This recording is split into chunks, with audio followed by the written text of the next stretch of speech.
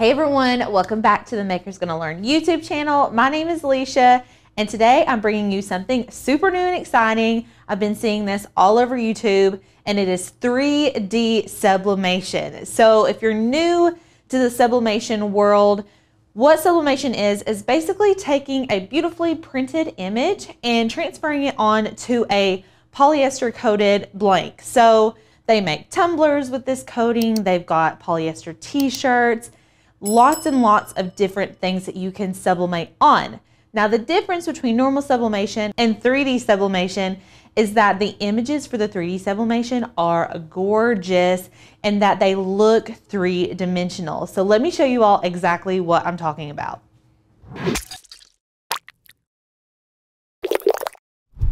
So this is a 3D printed sublimation tumbler that we use some succulents on Y'all, how gorgeous is this print? It looks like I could reach out and touch it.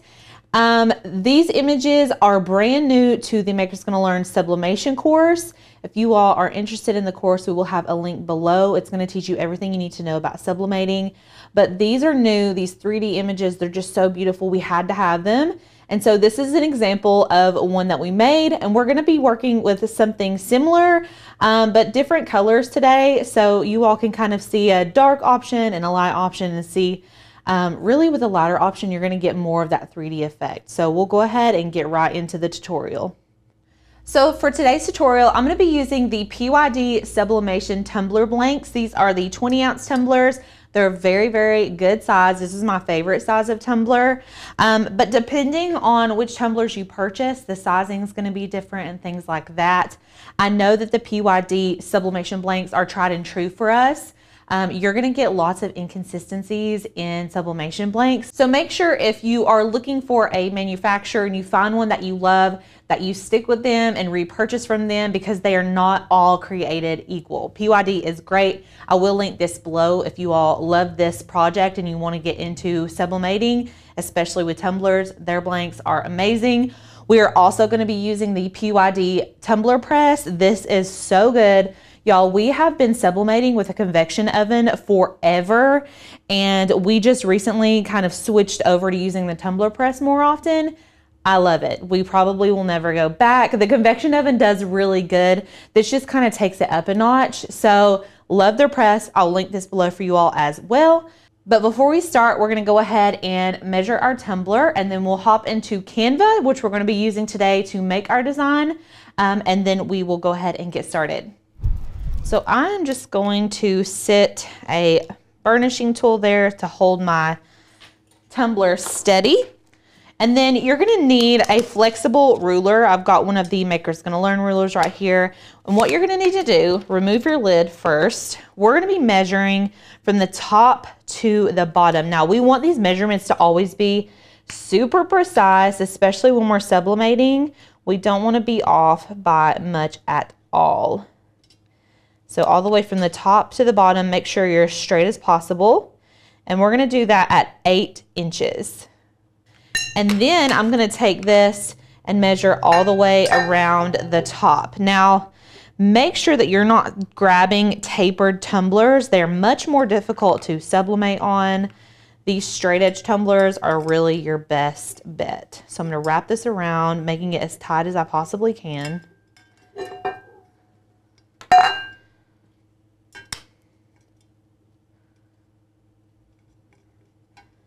Going all the way to that zero mark. You can see it's right there between, it's right before nine and a half.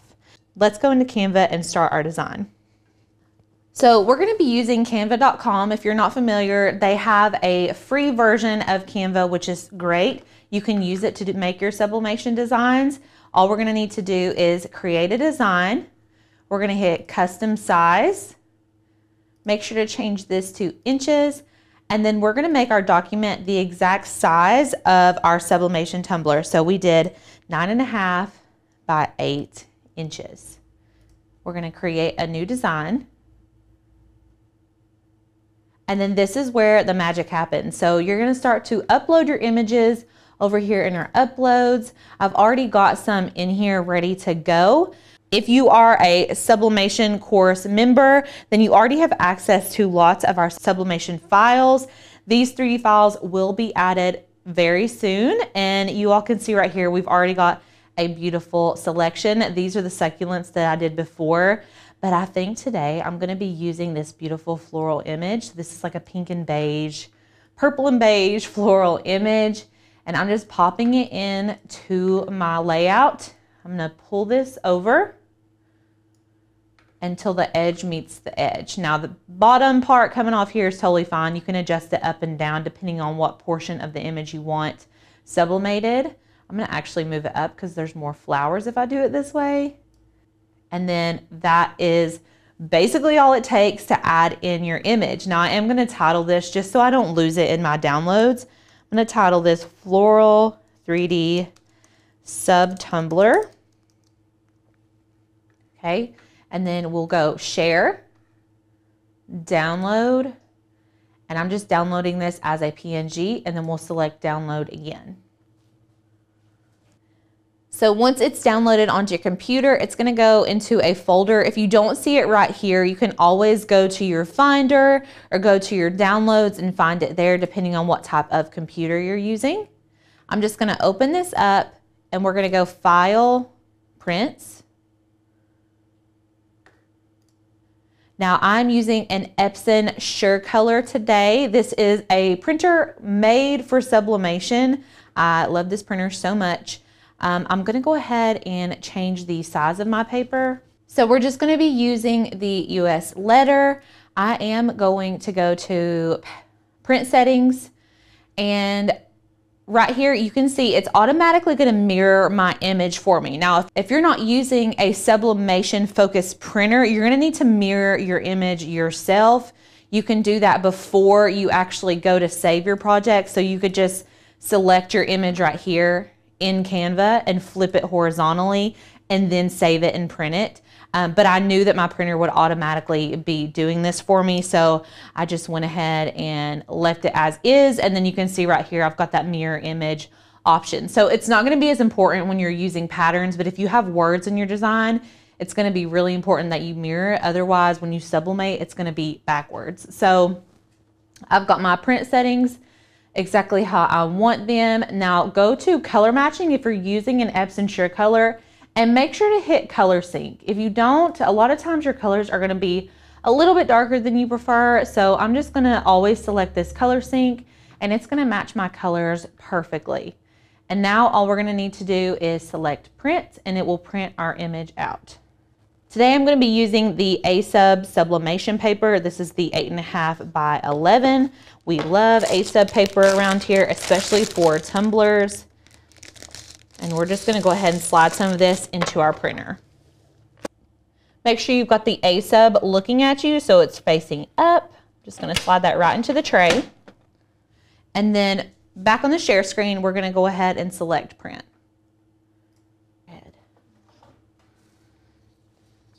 Okay, so here's our image, y'all. This is gorgeous. I am obsessed. I love the colors. I love everything. What we're gonna need to do next is trim all of the white edges around our image.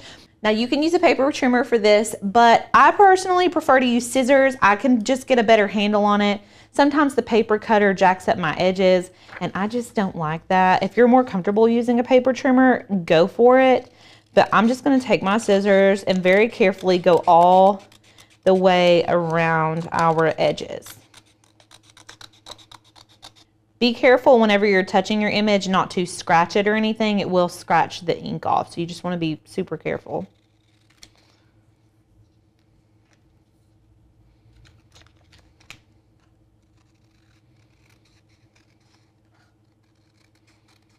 So now that our image is cut out, what we're gonna need to do next is lint roll our cup. So this might sound and seem a little bit crazy, if you're, especially if you're new to sublimation.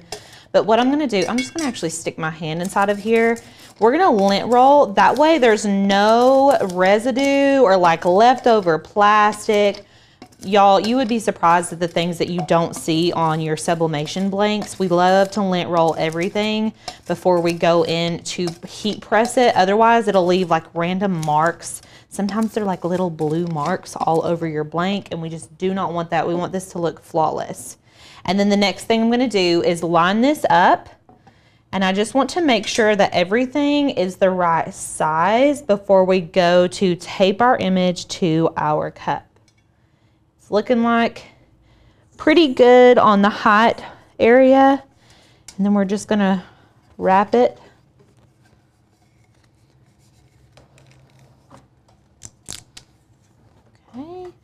And there's a little tiny bit of an overhang. I'm just gonna trim that up just a little bit, just barely, and then we will get it all taped.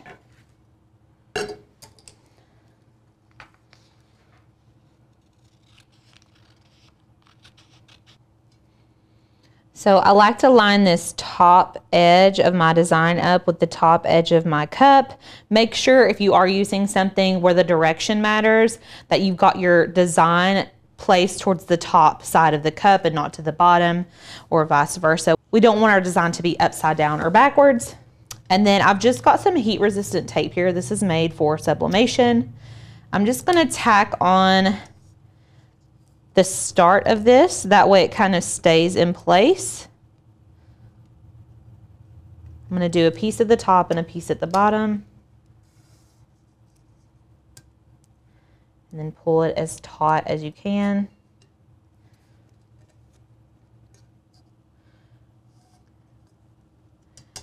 And then I'm just going to keep this top edge of the cup lined up with the top edge of our paper.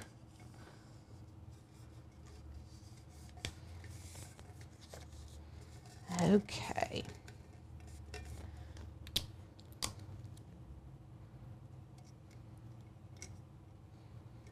I'm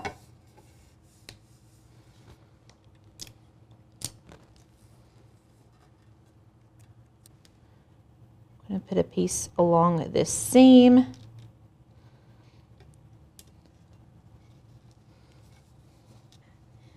And then I like to run my fingernail along the crease of this. You want to make sure that your design is on here really tight. So when you're sublimating, the two important key factors are pressure and heat. And so we really want to make sure that our design is snug on our cup. The heat press is going to help us a lot with this. Um, but I also want to make sure that my tape is securing my design down to the cup really, really well. So I'm going to continue to tape this entire top rim and the bottom rim the tighter that is, the less ghosting you're gonna get. And I'll show you all what ghosting is here in just a minute. Um, but what it looks like is your design kind of fades out and it gives it this just like a weird ghosty look. And so people call it ghosting. Um, so what I'm gonna do is just work my way around the entire bottom and top and get everything taped down really well.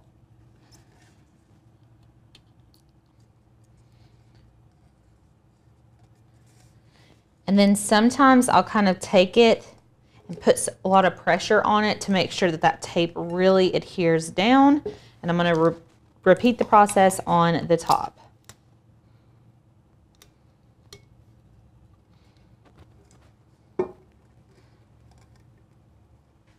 So you can see here, I've already got our press preheated to 385. What we're gonna do is put in some butcher paper and then slide our tumbler in. I'm gonna press it for 60 seconds with the seam up. And then after that 60 seconds is over, I'm gonna put my heat gloves on, rotate it 90 degrees and heat it for another 60 seconds. So with this press, there's a little gap at the top. And so you have to rotate it to make sure that the whole thing gets sublimated. Um, but you are gonna have to play around with your heat settings and your time settings sometimes. This is just what works for us with this heat press. So even in the convection oven, we're using different heat settings as well as time settings. This one sends a lot more heat a lot quicker, and so we don't have to do it for nearly as long as we would in a convection oven. So 385, 60 seconds, rotate it 60 more seconds, and then pull it out and it's done. So let's go ahead. I'm gonna get some butcher's paper ready.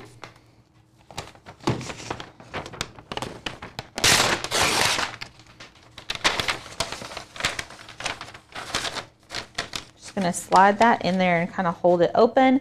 And I like to put the seam up first so I can remember where it's at. So we're going to go seam in and then we're going to go ahead and press it.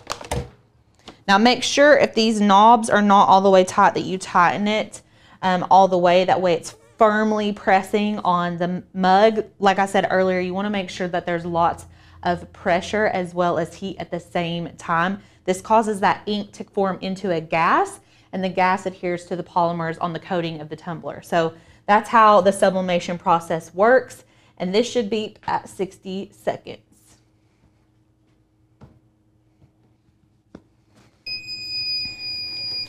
Okay, I'm just gonna open it and then I'm going to turn it so the seam is at the bottom. We're gonna close it again.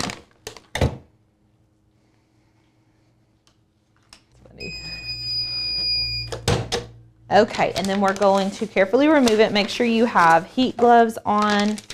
We're gonna let this cool down before we actually remove the paper and all that because these get very hot very quick.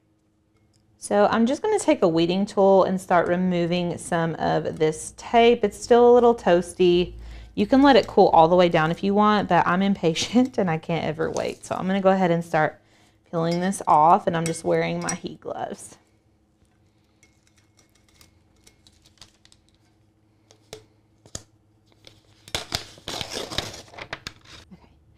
Okay, first of all, are you all as obsessed as I am? I love this. I love the design, the colors, the fact that it looks three-dimensional. This is just next level sublimation for me. Um, I'm hooked.